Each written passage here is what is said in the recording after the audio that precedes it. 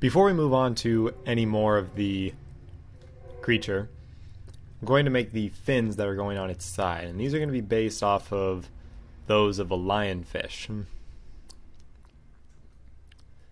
So let's start with that. Now, the first thing to notice is that the the fins hmm, sort of come out from behind this mus- muscle structure here at the front of the head, kind of the lower jaw line sort of comes out and stops right in front of where the fins are. So we're going to need some definition like that. Kind of like this ridge that we already have here, but a little bit more pronounced.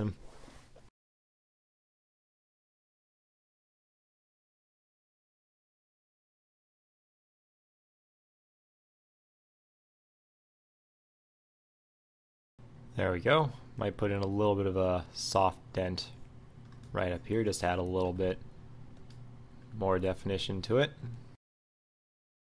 Alright, so now speaking of those fins, let's go ahead and make them. Now the way we're going to do this is we're just going to make one fin and then we're going to duplicate it many times in order to get these, uh, in order to get this large fan shape. So to make this shape I'm going to start out with a curve again, but I'm going to do so on its own layer. Oops, not that one. Call this fin. Going to increase the resolution of that a bit because this is going to be a pretty narrow, pretty small detail. Uh, let's see if we can get away with just that for now. Now I'm only going to do one side of this for right now, and then I will mirror it over later. So once again, going with curves. It's going to be pretty small because you see it's kind of a very narrow tube-like structure, and then this flat plane comes a bit afterwards. And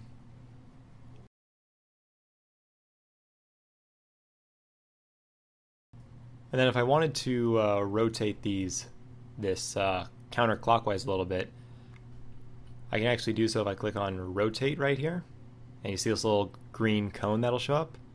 Using that, I can rotate the curve. Now it's going to rotate around whichever point the narrow part of the cone is going to. So the point of the cone is the point around which the whole thing will rotate.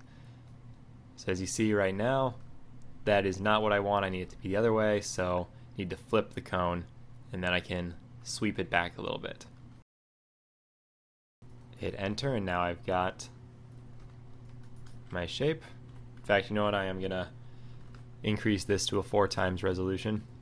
So I can actually then go in and uh, do transform curve.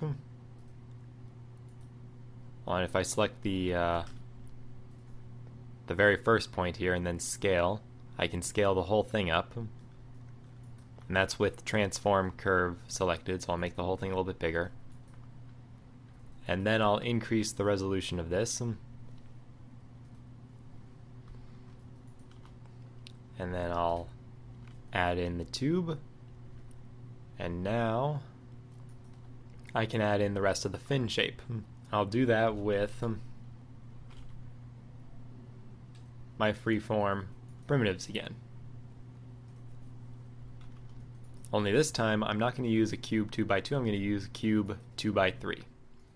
And then I will move it into position here.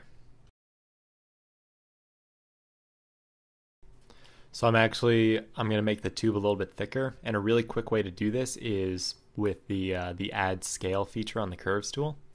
So with that, I can just make the whole thing a little bit thicker if I need it to be. So I'll hit enter again, and now I'll go back to my primitives tool and get that into position. Okay, now the reason why I'm using the 2x3 lattice is that I can select these points and move them until they are just in line with the tube. So again, you see it has sort of this straight part and then there's a bit of an there's a bit of an angle where it uh, then points back towards the fin base. Hmm. There you go. Now I might smooth this out a little bit as well. It's a little tricky. If you hold down shift and uh, and click on the background, then it'll actually snap you to the nearest 90 degree angle, 90 degree viewing angle.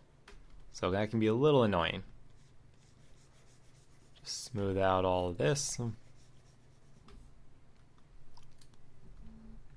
I might need to add a little bit of a fold in there of some sort.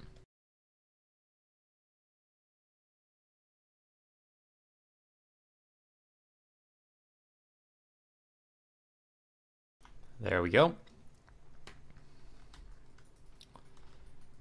So now it's time to make some copies of this.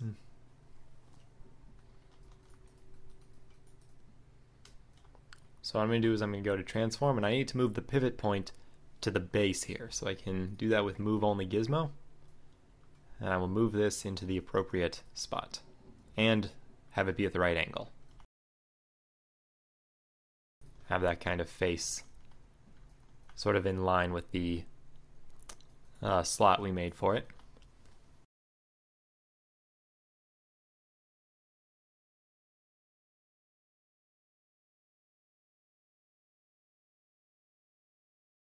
Excellent, it's a start. Now what I'm going to do is I'm going to go and grab the fins, and I'll use the pose tool in order to get these to line up properly. That'll make it much easier to retopologize.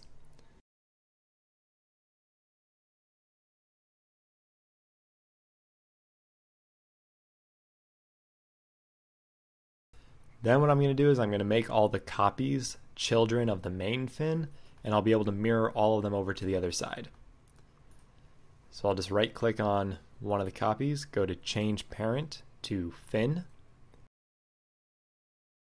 and then I can take fin, and I can go down to my instancer and create new mirror X.